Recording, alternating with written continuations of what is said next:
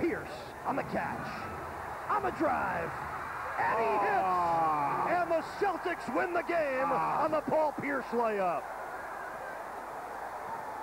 Wow. The, these fans in this arena just stunned. I mean, everyone's still looking at the court, but the early catch, and then he just went right to the basket. No one able to converge upon on Pierce on the defensive end. And he just went right down the gut of the defense, able to get uh, an easy layup. And boy, there they are celebrating and